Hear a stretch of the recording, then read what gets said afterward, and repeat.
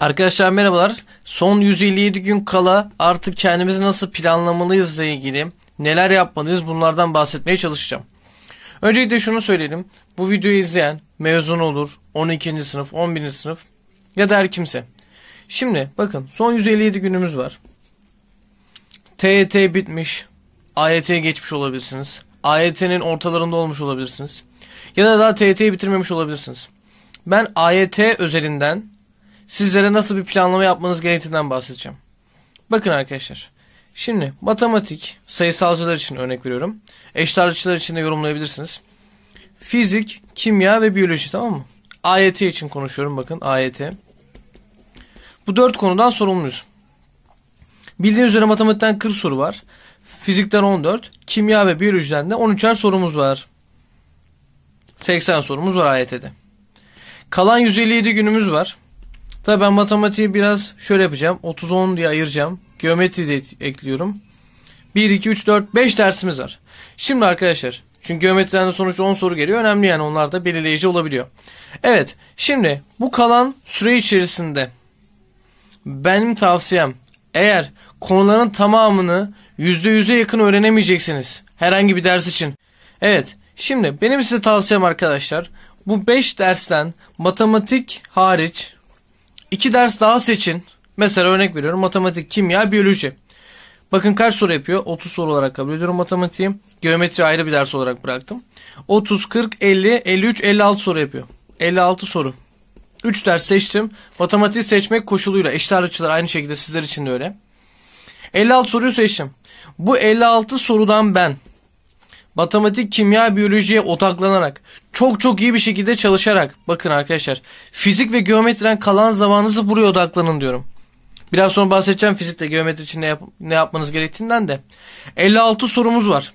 Biz bu 56 sorunun %70'ini yaparsak bakın çok iyi bir şekilde odaklandınız matematik, kimya, biyoloji için söylüyorum. Bakın tamamını değil sadece %70'ini yaptığınız zaman bakın 70 bölü 100 hesap yapalım. Yaklaşık olarak 40 net yapıyor arkadaşlar. 40 net.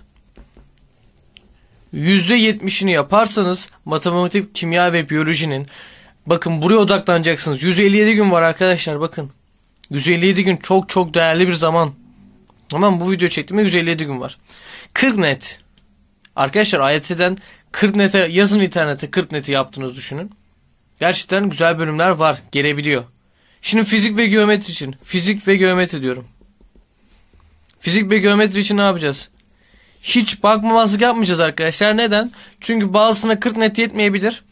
Hocam 50 neti zorlamak istiyorum.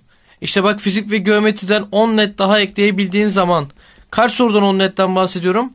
24 sorudan. 24 sorudan 10 net ne demek? Yaklaşık %40'ı. Yaklaşık %40'ı yapıyor. Nasıl çalışacaksın? Atıyorum işte fizik 5-6 seviyesinde zorlayacaksın. Konuları bileceksin. işte genel formüllerini falan bilmeye çalışacaksın. İşte 3-4 tane de geometri yapabildiğin zaman yapabileceğin sorular mutlaka var arkadaşlar.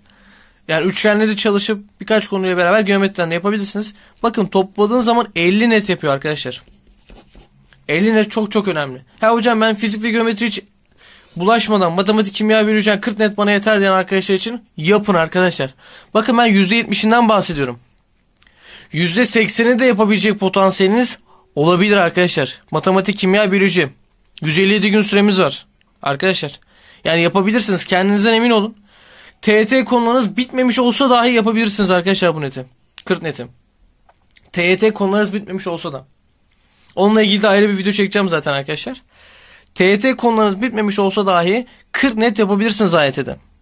İşte TYT'den de 60 yapabilirseniz eğer bakın arkadaşlar yaklaşık olarak ilk 150 bin bandında oluyorsunuz 60'a 40'la ya da 65-40'la filan.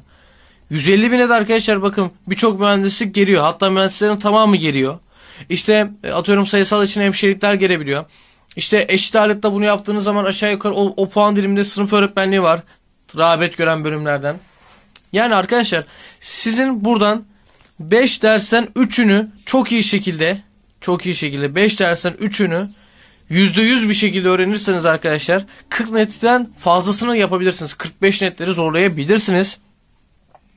Çok çok iyi öğrenirsiniz. %80-85'ini yaparsanız yaklaşık e, 50 neti bile yaklaşabiliyorsunuz arkadaşlar. Yani her şey sizde bitiyor. Matematik, kimya, biyoloji için. Hocam işte matematik, fizik, kimya olabilir arkadaşlar. %70 başarı sağlayabileceğine inanıyorsanız olur arkadaşlar. Bunları tamamından yani mesela 80 sorudan %70'ini yapan bir öğrenci AYT'nin %70 başarı sağlarsa zaten 56 net yapıyor. 56 net çok çok iyi arkadaşlar. Eğer diyorsanız ki hocam ben bu 5 dersi %70 yaparsam ne olur? 56 net olur. Ben diyorum ki belirlediğiniz 3 dersin geometri de seçebilirsin. Hocam ben matematik, kimya, geometri o zaman kaç soru yapıyor? Soru sayısı düş- düşüyor ama aşağı yukarı yine aynı netlere yakalayabilirsiniz. Yani benim nacizane tavsiyem bu. TYT bitirmemiş olsanız da AYT'ye yeni başlamış olsanız da AYT'yi ortalamış olsanız da bunlar yapabileceğiniz netler arkadaşlar. Bakın yani gerçekten. İnşallah bu video sizlere biraz faydalı olmuştur. Bir sonraki videomuzda görüşmek üzere. Hoşça kalın. Kendinize iyi bakın. Takıldığınız bir soru olursa herhangi bir soru için aşağı yorumlar kısmından yorum yazın. Elimizden geldiğince en iyi şekilde cevaplandırmaya çalışacağım. Bir sonraki videoda görüşmek üzere. Hoşça kalın. Kendinize iyi bakın.